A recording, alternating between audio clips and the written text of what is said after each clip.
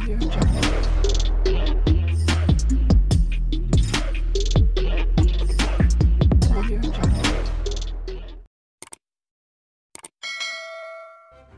kasih karena memilih channel ini. Sebelum kita mulakan video ini, sila pertimbangkan untuk menekan butang like, share, dan subscribe dan aktifkan butang lonceng Anda agar Anda sentiasa mendapat info-info percuma pada setiap hari dari channel kami. Dan tinggalkan komen Anda karena komen Anda amatlah dihargai.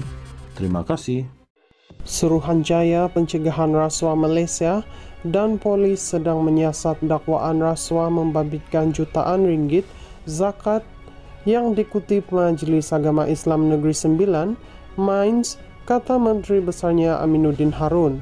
Saya rasa SPRM dan polis masih menjalankan siasatan jika kita serah kepada pihak yang menyiasat kes itu.